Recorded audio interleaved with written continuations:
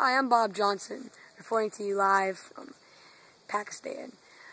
I'm here today to discuss allegations made against Greg Mortenson in a 60 Minutes news report. Thanks for sitting down with me today, Greg. Um, I'm here to discuss with you about allegations made against you on a 60 Minutes news report. Um, how do you feel about this? Glad to be with you aggravating having the more people the more people believing in this report, the less money that will be provided for building schools.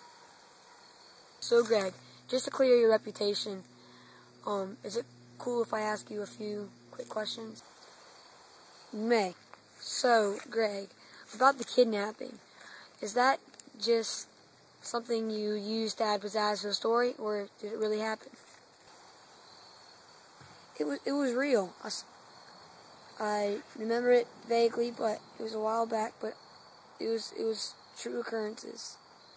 So so how do you respond to those pictures taken of you smiling and holding the gun with the supposed kidnappers?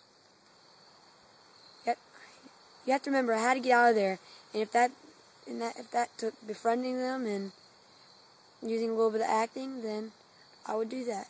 It all it all means. What about all the account, unaccounted money used used to pay for private funds in the last few years? Well, I'm a very well-known author, and maybe I should start saving receipts to specify which is which.